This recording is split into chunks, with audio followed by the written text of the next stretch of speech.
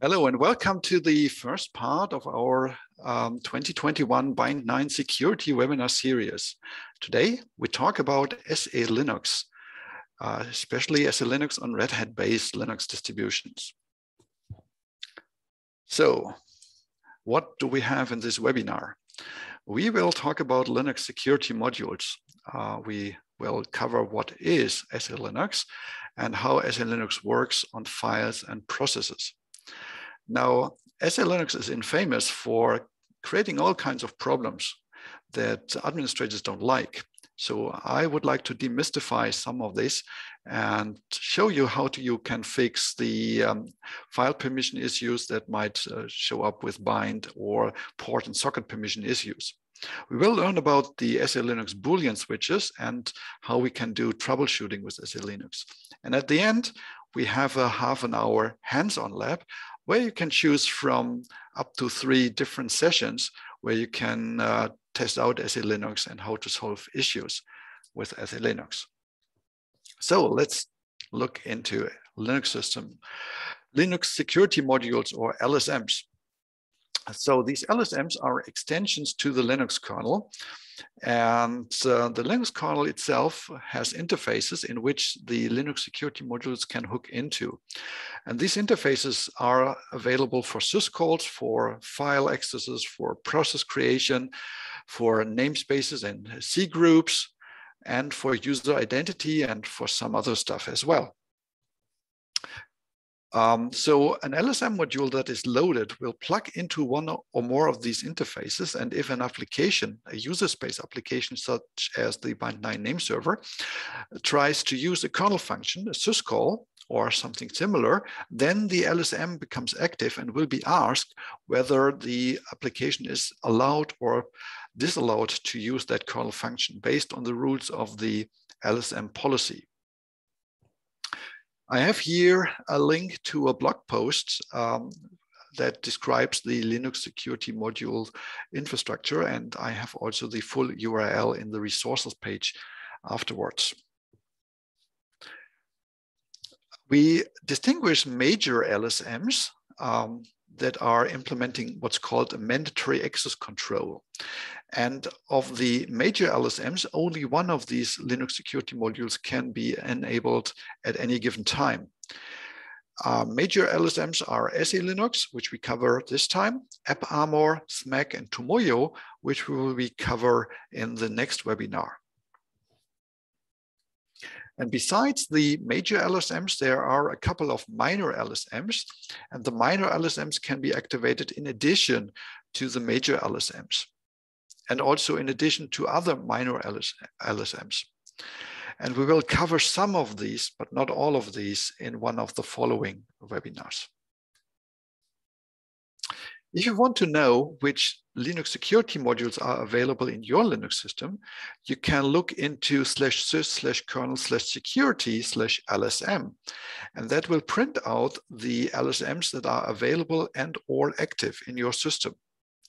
So in this example here, the lockdown minor, minor LSM, capability minor LSM, Yama LSM, and Tomoyo and BPF LSMs were active.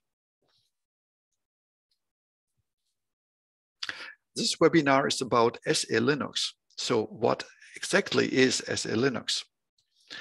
SE Linux for, oh, a typo there, security enhanced Linux is a Linux security module that implements mandatory access control. It was originally developed by the United States National Security Agency or NSA and found its way into the mainline Linux kernel in 2003 with Linux version 2.6.0. SE Linux consists of two major parts. There is the kernel code and the user space utilities to maintain SE Linux. And these kernel code and the utilities are generic and they are available on many different Linux systems. And then there are the SE Linux policy files. And the policy files need to be adapted for each Linux distribution to work and to be useful. And there is where the different Linux systems really, really differ. We come to that differences in a moment. So what is actually a mandatory access control? Traditionally, Unix and Linux systems implement something that is called discretionary access control or DAC. DAC is implemented using the Unix file permissions, which are read, write, and execute for the owner of a file, the group owner, and the rest of the world. And you all know that. Uh, you all probably have seen the RWX um, access permission bits on a directory listing in a Unix system, which are highlighted here on the SRC directory. And especially with DAC, the owner of a file or directory can change these permissions. In contrast to DAC, we have MAC or mandatory access control. And SE Linux enables this mandatory access control. And mandatory access control is now enabled in addition to the old discretory access control in the Linux system.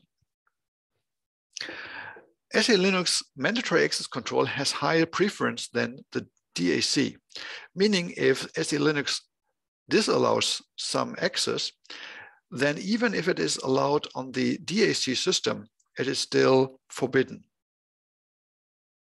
In addition to file accesses, which are controlled by DAC, SE Linux also can control uh, access to network sockets, processes, namespaces, user and group IDs, and system calls, which normally are not being controlled by the DAC. In order to get access to an object, which can be a file, can be a directory, or can be a process or a socket, it must be permitted by both the mandatory access control and the discretory access control. Why should we want to use SE Linux? Now, SE Linux allows us to define a fine-grained policy for processes. So processes are not able to access any files or make changes to other processes outside these rules. Especially SE Linux can prevent privilege escalation through security vulnerabilities in software. So either that the bind9 process is accessing file that do not belong to the bind9 configuration, or that other, other SE Linux confined software will access the bind9 files. SE Linux prevents both of these sec uh, security issues. This is done by having a modular security policy. And the security policy of SE Linux is independent of the Unix and Linux file permissions. The policy is enforced by the Linux kernel by the use of the SE Linux kernel module, module loaded into the kernel. And applications that violate the policy will be denied access. SE Linux can be deployed in two different modes. We know the full mode, and in a full mode, all files with no exception, all users, and also all processes must be subject to the SE Linux policy. Running a Linux system in full mode is a lot of policy work. And it's so much work that even the big Linux distributions don't support the full mode. Um, I've never seen myself uh, a Linux system that run under full mode as a Linux. I've just heard some rumors that somewhere in dark corners in the internet, there might be some systems that run in full mode, but I never have seen them myself. Uh, what I usually work with is targeted mode. And in targeted mode, only selected files, selected users, and selected processes are under control of the SE Linux policy. All other objects are unconfined, meaning that only the normal Unix permission apply.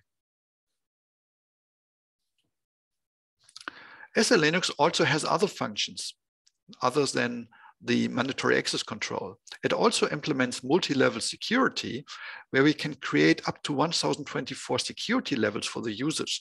And then users of a lower level cannot access content created by a user on a higher level. Now this is being used to create hierarchies very similar that we found in the military. That is not what we're talking about today.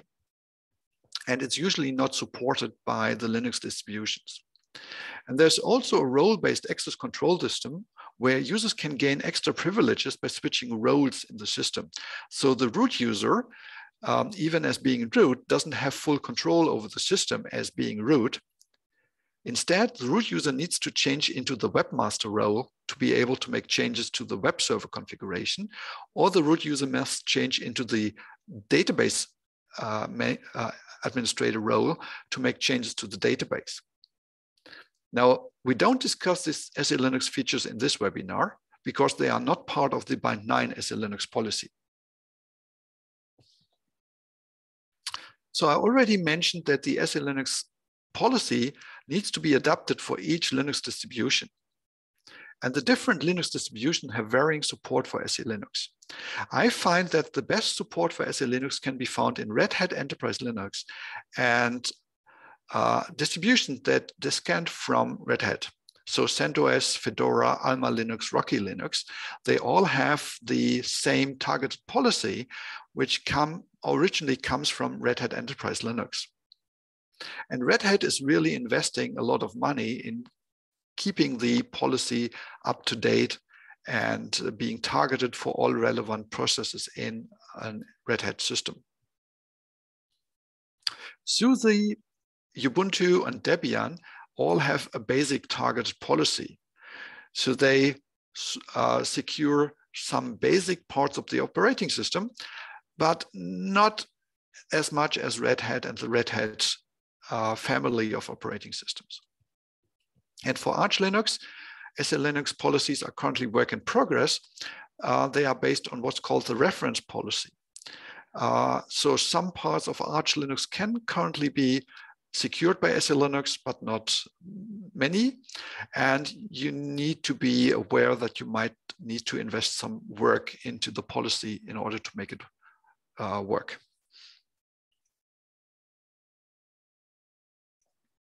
So this is the reason why I tend to use um, Red Hat-based operating systems whenever there is a need for SE Linux.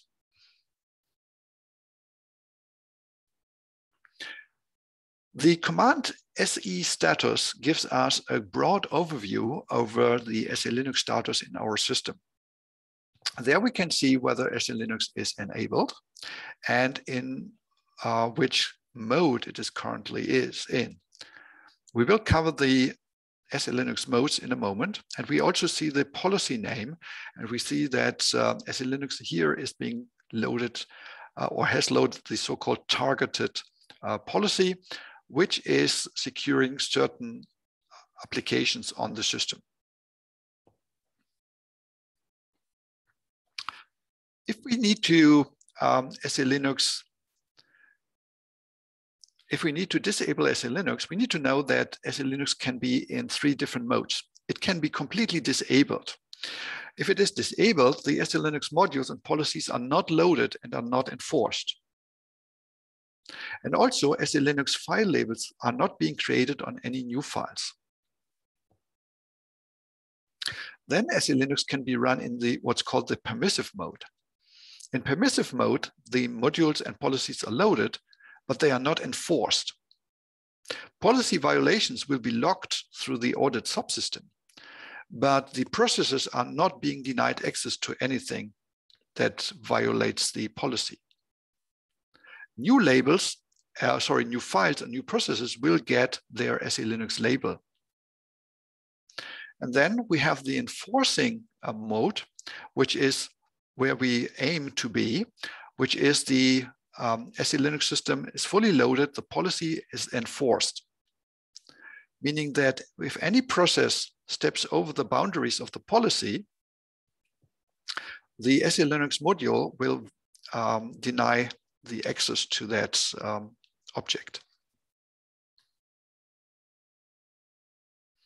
So SE Linux is a very important security part of a Linux system. And you should not switch off SE Linux whenever you encounter an issue. Instead, try to fix these issues without disabling SE Linux. And I hope I give you some pointers in this webinar, how you can find the root cause of the issue and how you can help yourself to make SE Linux work with the uh, applications you want to run on your Linux system without turning it off.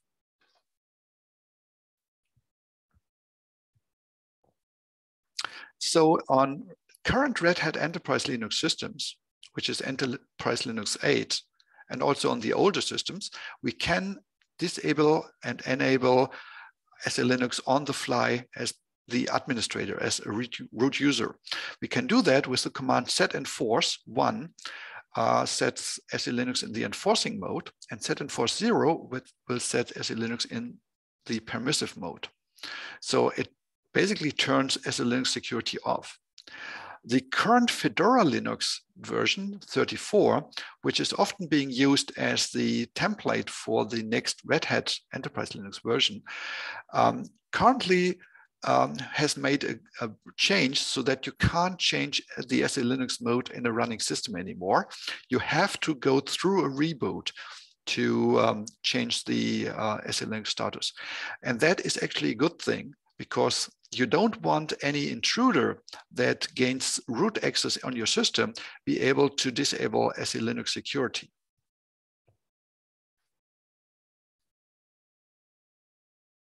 On the kernel command line, SE Linux can be controlled with the SE Linux parameter and an SE Linux equals zero will disable SE Linux completely, but that requires a reboot. And this is how you can disable SE Linux in the future and in Fedora 34. You can also switch uh, the different SE Linux modes being disabled, enforcing, and permissive in the file etc SE Linux config.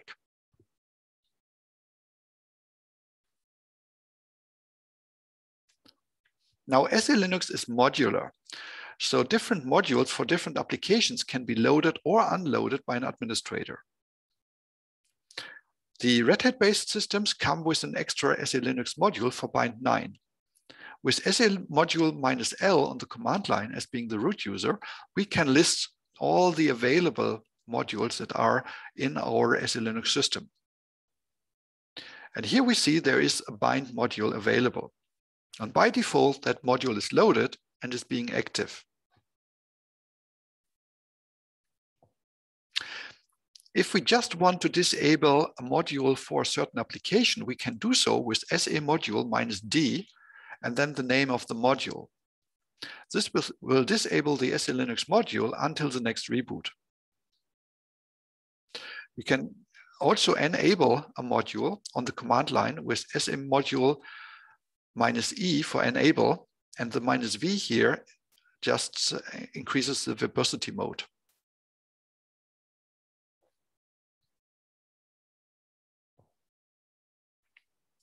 Now, it is really helpful to have the SE Linux man pages, the manual pages installed on the system.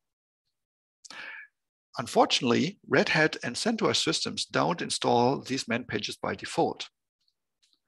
You can add them from the SE Linux policy sources. You need to install SE Linux policy devel, which unfortunately has quite a large amount of dependencies. So I won't recommend that on all production systems, but it is good to have the man pages on the administrator's uh, workstation. And then the command SE policy man page minus A minus P, and then the path to the man pages will create all the different uh, man pages for the system. A little bit confusingly, while the module for bind is called bind, the man page is called named underscore SE Linux. The man page is automatically generated, so it's not written by a human. It's automatically created from the policy itself, but as, as far as automatic generated man pages goes, it, it can be readable and it can uh, reveal some in interesting and important information. Um, interestingly, besides the bind9 name server, uh, the man page also covers the unbound resolver because the unbound resolver is also being secured by the very same bind policy.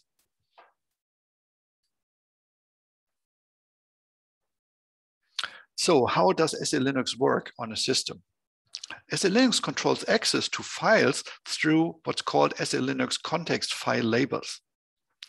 And the file label is stored in extended attributes on the file system. So SE Linux can only secure files that are stored on a file system that supports extended attributes. So it's not possible to use SE Linux on a FAT file system or on some of the network file systems like Samba. We have different kind of file types, SE Linux file types that is, for the bind files.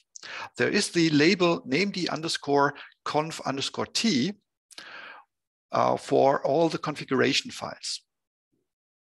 Depending on a SE Linux variable, the bind process can either write the configuration files or it cannot write the configuration files. In a Red Hat system, by default, write access to the configuration files is allowed. On a Debian and Ubuntu system, when SE Linux is enabled, write access to the SE Linux, uh, uh, to the bind configuration files is not allowed. We have, in addition to the config, uh, bind config files, we have uh, files of type etc underscore t, uh, which are generic Linux configuration files. And the named root key is of that type because it's not technically a bind configuration file.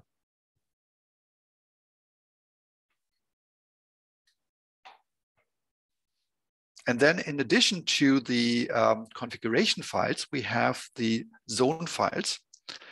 And there we have named uh, underscore zone underscore t. And by default, the bind9 processes can read and write these files. And we have a switch called named write master zones, which we will discuss below, where we can switch that um, write access to the zone files to off.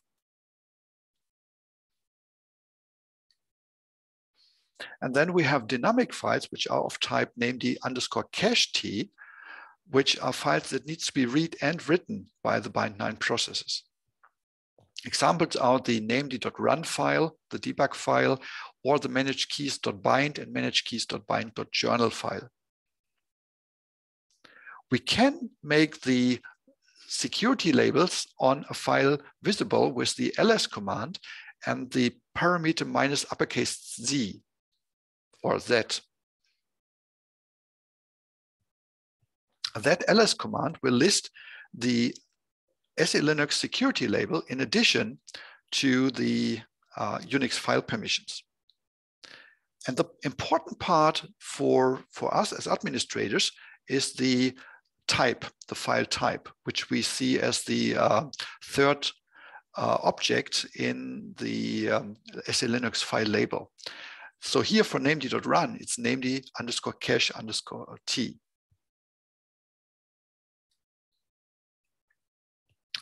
we will find similar labels on the processes. If we list all the processes in the Linux system and also supply the parameter uppercase Z to the PS command, we'll see that the named process is of type system U, so it's running under the system user, which is the SE Linux user. It has the system role and it is of named underscore type. So it's a process that belongs to named. The policy now describes um, which files the processes that run under name underscore t are allowed to access. Should the SE Linux module be not active, uh, then if we list the processes, we will see that the process is unlabeled. And if we see unlabeled processes, that's an indication that the SE Linux system has been disabled.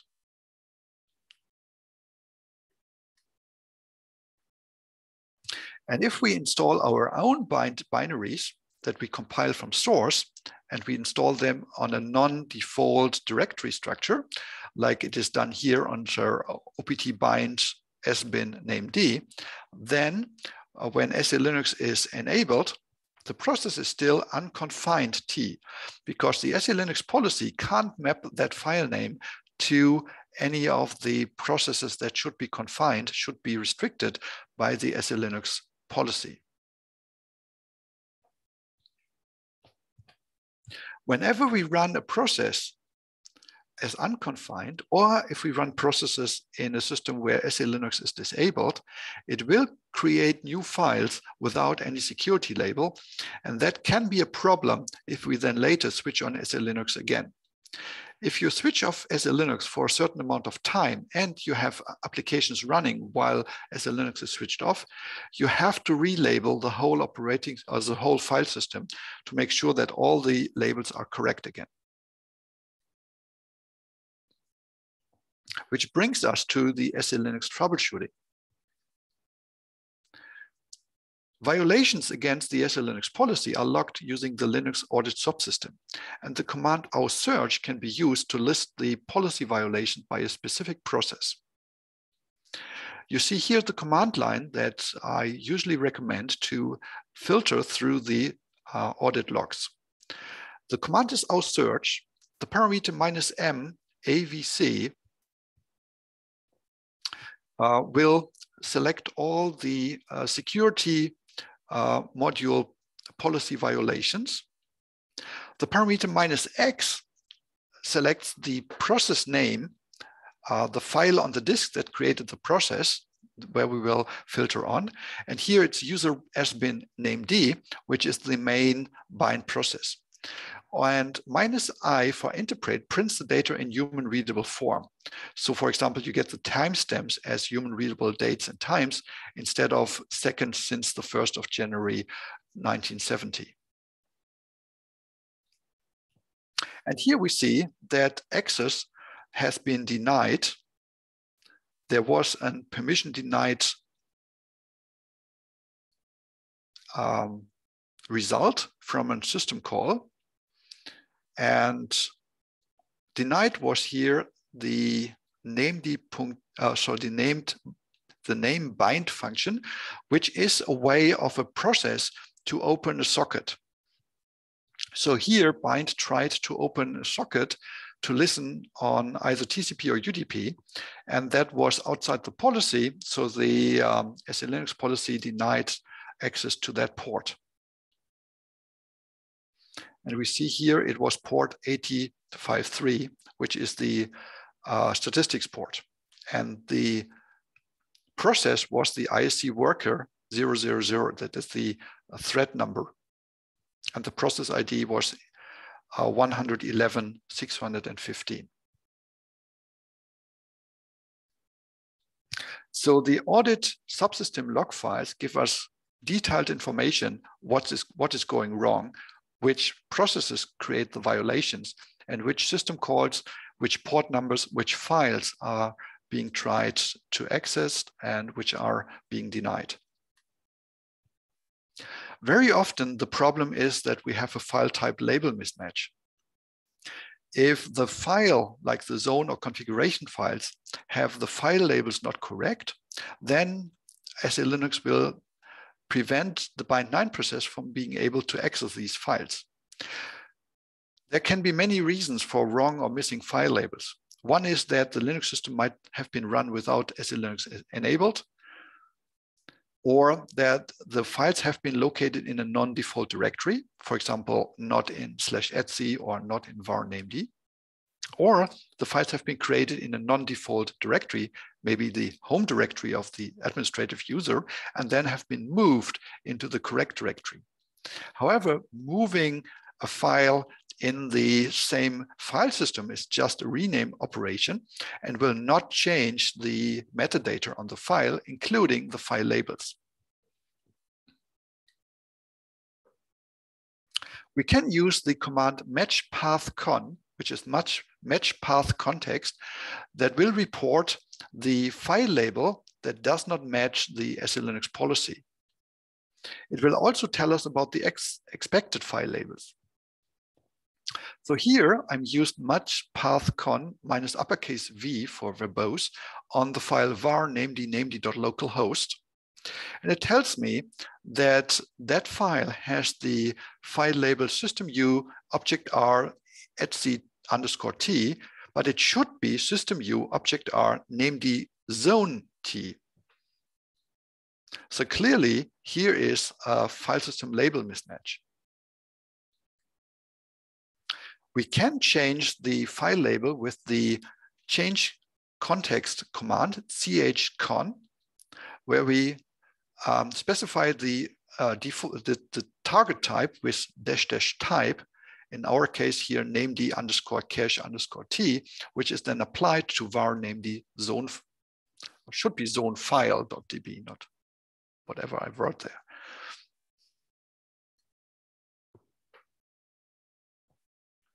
Another way to restore the correct label is to ask the policy uh, what label should be on a file and then automatically relabel the file. And that can be done with the command restorecon. So restorecon does both the match con operation and the change con operation in one step. Here, restorecon is being applied to var named named localhost, and it tells us that it relabeled that file from system u object r etc underscore t to system u object r named underscore zone underscore t.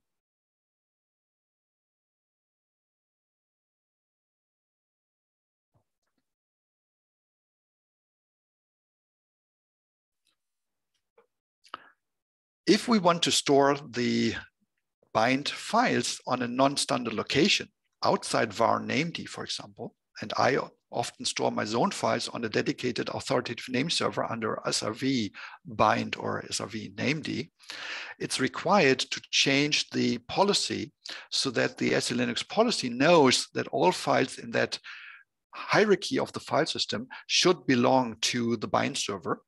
And we do that with the command se manage f context for file context, minus a for add, minus t for type, named underscore zone underscore t is the type. And then we specify the full path of the file that should have the new type. That will not automatically relabel the file, and we can use restorecon to then relabel the files that are stored in that location. However, doing that for every single file is quite tedious. So we can change the, um, um, the policy with kind of glob operators that will automatically apply a wildcard to certain hierarchies of the file system. And here I'm applying the type named zone T to all the files and all the directories under SRV bind zones because that is where I want to store my zone files. And the type named conft to all the files that are under SRV bind conf, which are then all the configuration files.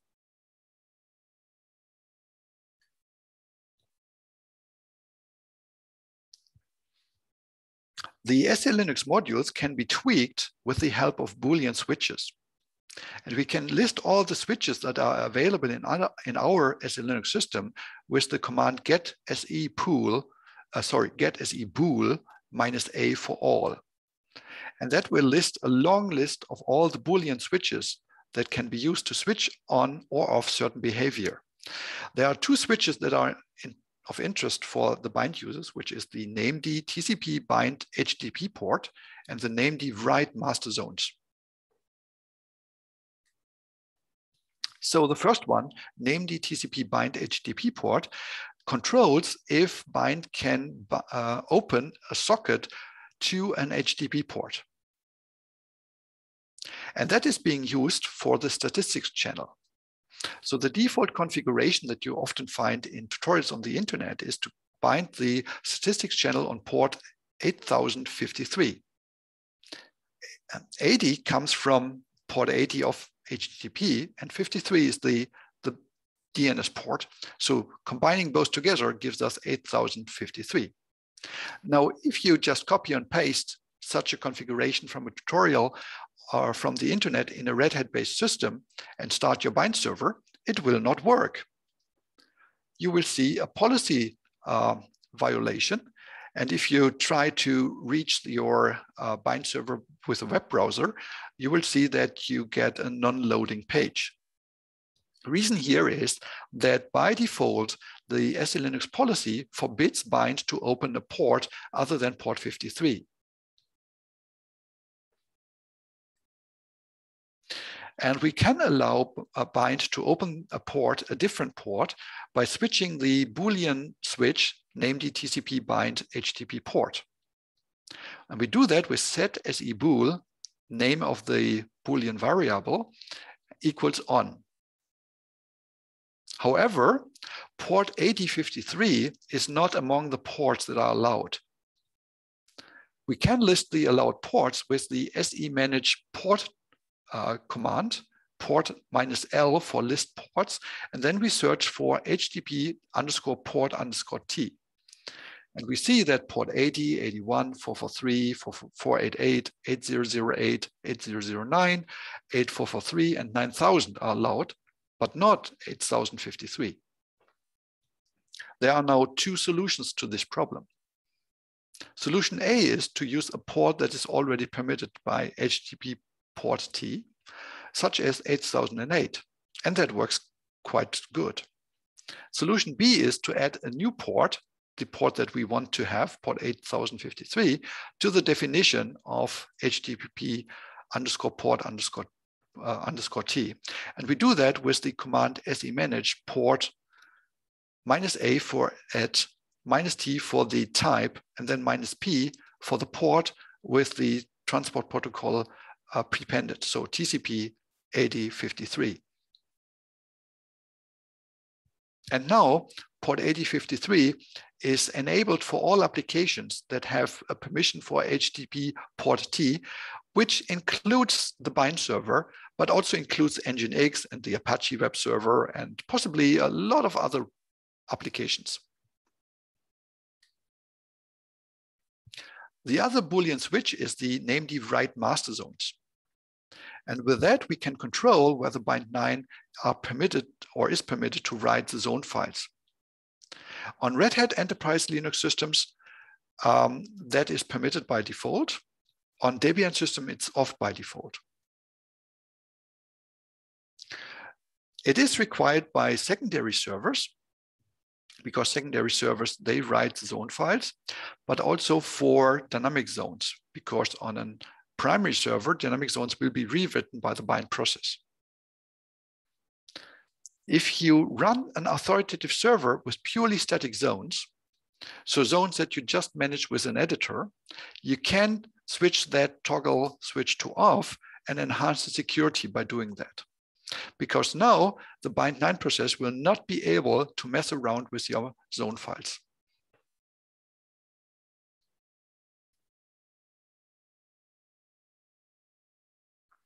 So that was the overview of um, Linux. Here are some additional resources. The brief tour of Linux security modules that I mentioned before. Um, there is a good blog article um, on some problems that SE Linux created for the bind startup between uh, different uh, Linux kernel versions. I think it was between uh, Red Hat Enterprise Linux 6 and 7, changes being there. Um, a link to some background information on the Linux kernel audit system that is being used by SE Linux, and a link to an online version of the uh, SE Linux uh, bind man page. The man page on your system might be more up to date, but if you don't want to go through the hassle of installing all the dependencies of the policy development uh, tools for SE Linux, you can find most of the information on that webpage here as well. Which brings us to the list of next webinars. SE Linux is just one of multiple Linux security modules. And in the next um, webinar, which will be in October 20th, we look at some of the other Linux security modules. We look at AppArmor. Uh, we also look at FireJail, which is not only a security module, but a whole uh, containerization system for containerization of um, um, uh, applications. And we look at seccomp BPF, what that is. It's a firewall for system calls and how we can utilize seccomp BPF uh, with bind and systemd. Then in November, we talk about instrumenting Bind9 uh, with BCC uh, eBPF, which is the new technology in the Linux kernel to really be able to look into a running process uh, to make performance observation, but also security observation. And we cover both the performance and the security with a focus on the Bind9 name server. And then on December, we will talk about DNS fragmentation, about some real world measurements and the impact of DNS fragmentation of bind security. And with that, do we have any questions? So Carsten, we have a couple of questions. Um, I'm also going to put up a uh, just a quick poll uh, asking people how useful this was. Uh, feel free to just uh, fill that in uh, while we're doing the questions. Um, so the first uh, two questions are from Rick. what's the benefit of labeling the port HTTP underscore port T and enabling the Boolean instead of adding port 8053 to the list of SE Linux named ports? Um, yeah, this is really depending on how you run your systems uh, and whether other applications are um, on the machine on the system um, that are using HTTP port T.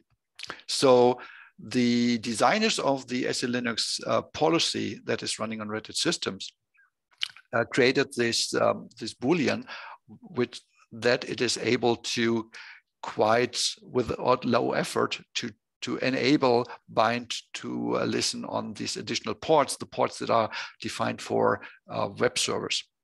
So that is a low effort work to do and adding the port to either named port T or um, adding a different port to HTTP port T is extra work um, requires a change of the, the policy itself and might not be permitted in some situations.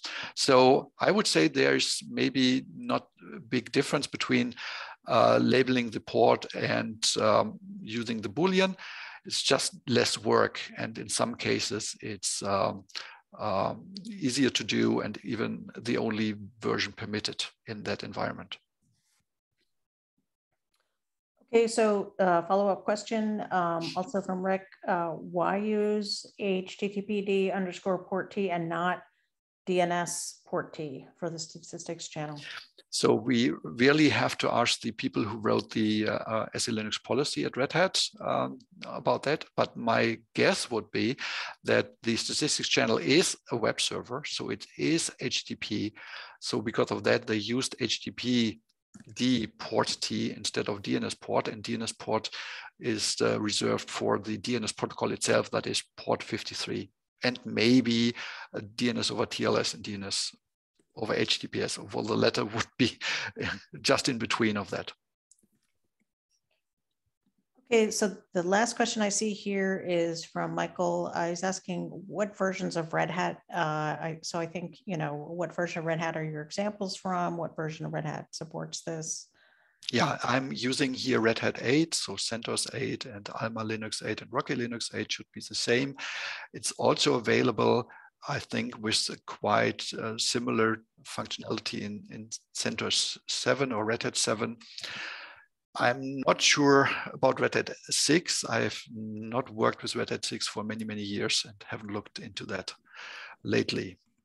Uh, but it should work the way how, how I presented that on 8 and also on 7. Okay, that's it for the questions.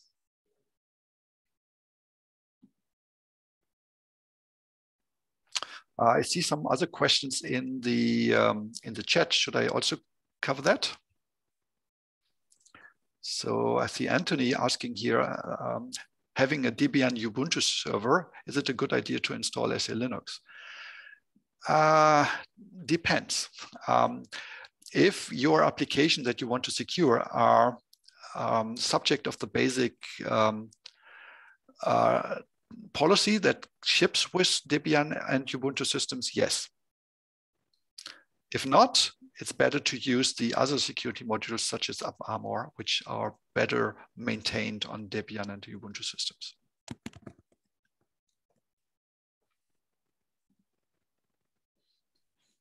Okay, now I think that's the last question. Good. So uh, I've prepared um, um, the hands-on session. Oops. And let me quickly go